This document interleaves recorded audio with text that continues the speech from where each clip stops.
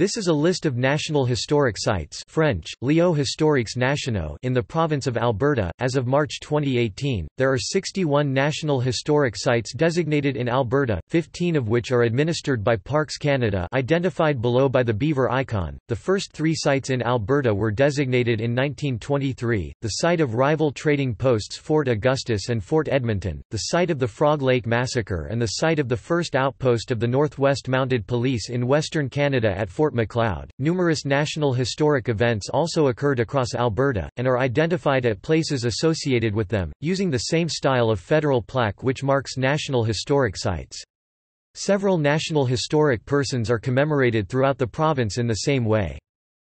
This list uses names designated by the Historic Sites and Monuments Board of Canada, which may differ from other names for these sites.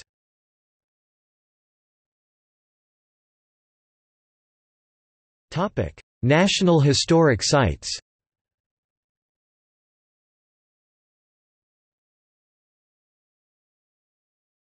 Topic: See also. History of Alberta Provincial Historic Sites of Alberta